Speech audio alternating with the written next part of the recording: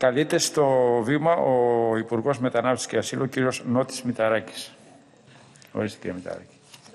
Και να ετοιμάζετε κύριε Ευχαριστώ πολύ κύριε Πρόεδρε, κυρίες και κύριοι συνάδελφοι. Το 2020 ήταν μια χρονιά σταθμό στο μεταναστευτικό. Η επανίδρυση του Υπουργείου Μετανάστευσης και Ασύλου, στο οποίο αντιμετωπίσαμε τις ροές, τις αιτήσεις παρελθόντων ετών, ειδικά στα νησιά μας, τη συμφόρηση που υπήρχε στις δομές φιλοξενίας, την πανδημία, την τουρκική προκλητικότητα στον Εύρο και στο Αιγαίο. Ανακτάμε τον έλεγχο της μεταναστευτικής κρίσης. Της κρίσης που μας επηρέασε δυσανάλογα στα χρόνια της συγκυβέρνησης ΣΥΡΙΖΑΝΕΛ. Προχωρήσαμε σε σημαντικές οργανωτικές και νομοθετικές αλλαγές. Αλλαγές που επέφεραν απτά και μετρήσιμα αποτελέσματα. Το 2020 είναι η χρονιά με τις χαμηλότερες ροές εδώ και πάρα πολλά χρόνια.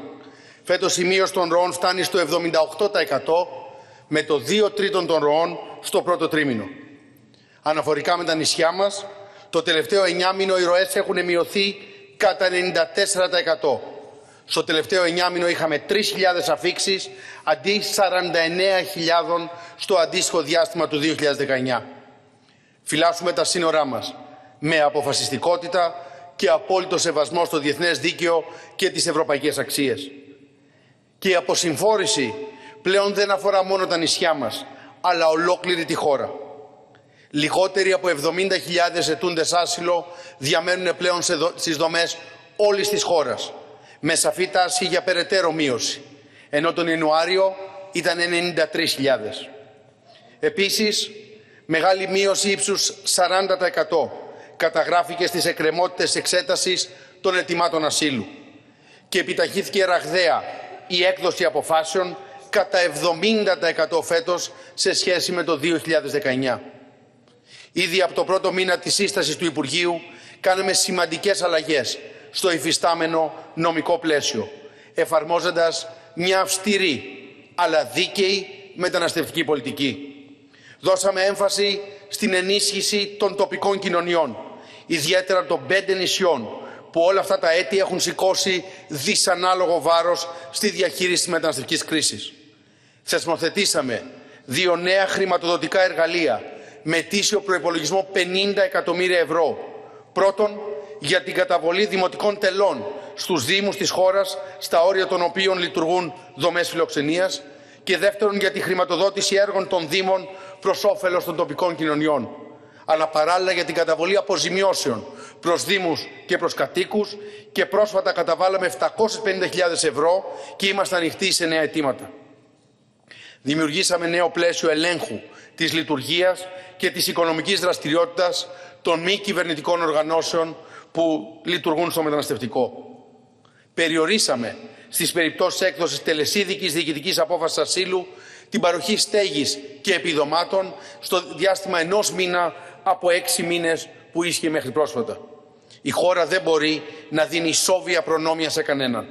Αλλά για τους ετούντες άσυλο που αναγνωρίζονται ως δικαιούχοι διεθνούς προστασίας, τους βοηθάμε να ενταχθούν όπως δικαιούνται στην αγορά εργασίας. Κυρίες και κύριοι συνάδελφοι, το 2021 ο προϋπολογισμός κατανέμει στο Υπουργείο Μετανάστευσης και Ασύλου το ποσό των 96 εκατομμυρίων ευρώ, εκ των οποίων τα 50, πάνω από τα μισά, θα διατεθούν όπως προανέφερα σε δήμους και περιφέρειες της χώρας, είτε ως δημοτικά τέλη, είτε για έργα υποδομών, είτε για αποζημιώσεις κατοίκων.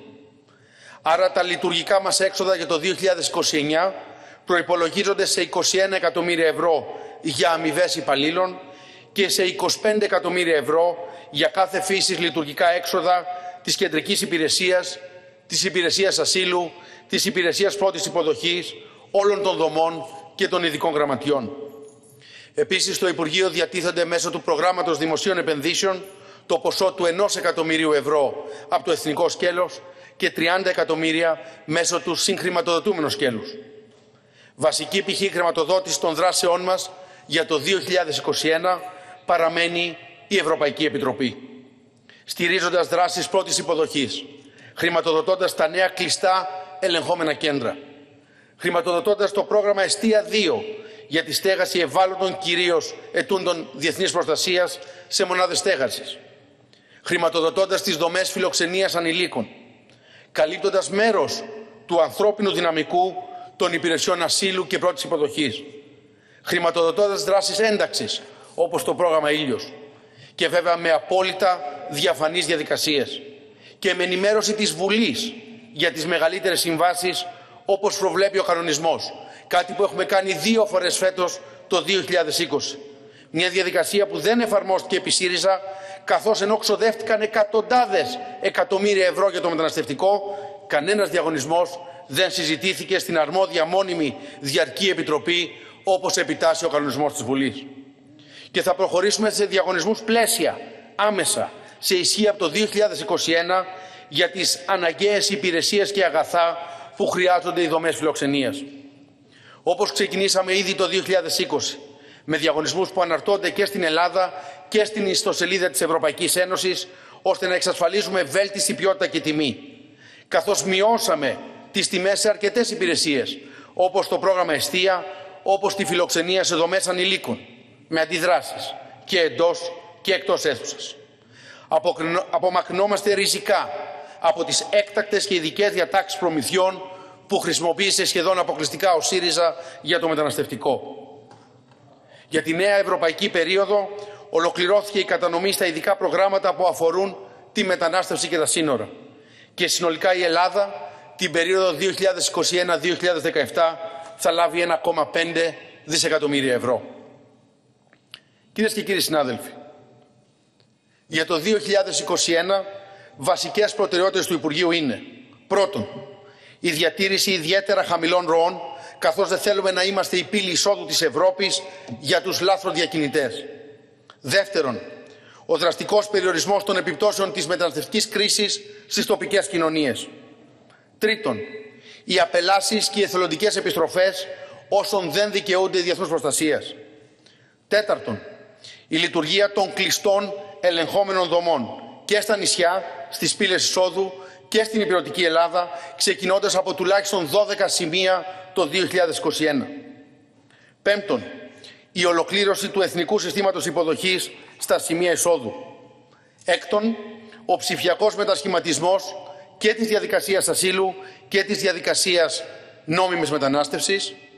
Έβδομον, η ομαλή προσαρμογή όσων δικαιούνται διεθνούς προστασίας με έμφαση στην εργασία και όχι στα επιδόματα. Και όγδον, η ενίσχυση της νόμιμης μετανάστευσης προς όφελος των αναγκών της χώρας μας. Προτάσουμε την νόμιμη μετανάστευση αντί της παράτυπης εισόδου της χώρας μέσω λαθροδιακινητών. Και φυσικά, σε επίπεδο Ευρωπαϊκής Ένωσης, η επιτυχής ολοκλήρωση των διαπραγματεύσεων για το νέο σύμφωνο μετανάστευσης και ασύλου, που θα εξασφαλίζει την ασφάλεια των συνόρων μας, την καλύτερη επίτευξη απελάσεων και επιστροφών και την έμπρακτη αλληλεγγύη για το διαμοιρασμό των προσφύγων σε όλη την Ευρωπαϊκή Ένωση. Οδηγός μας, η προστασία της χώρας μας και της ελληνικής κοινωνίας σύμφωνα με το Σύνταγμα και το Διεθνές Δίκαιο, εφαρμόζοντας όπως προείπα μια αυστηρή αλλά δίκαιη μεταναστευτική πολιτική. Κυρίες και κύριοι συνάδελφοι, η χώρα μας όπως όλος ο πλανήτης αντιμετώπισε μια πρωτόγνωρη για τη γενιά μας πανδημία. Η προστασία της δημόσιας υγείας αποτελεί την κύρια προτεραιότητά μας, λαμβάνοντας όλα τα απαραίτητα μέτρα. Και θέλω να τονίσω ότι μέχρι στιγμής στον πληθυσμό το μεταναστευτικό στους ετούντες άσυλο τα κρούσματα ανέρχονται στο 1% των ετούντων, των διαμένοντων σε δομές και έχουμε μόνο μία απώλεια ανθρώπινης ζωής από την αρχή της κρίσης. Η χώρα μας ενίσχυσε ουσιαστικά το ΕΣΥ με πρωτοφανή αύξηση κλινών και προσωπικού φέτος. Με τον ΕΟΔΗ και την πολιτική προστασία να ανταποκρίνεται με επιτυχία στις προκλήσεις. Παράλληλα καταβλήθηκε κάθε δυνατή προσπάθεια. Μια ιδιαίτερα δύσκολη ισορροπία να λειτουργήσει η αγορά, να περιοριστεί κατά το δυνατόν η ύφεση του 2020 χωρίς να θέτουμε ανθρώπινες ζωές σε κίνδυνο.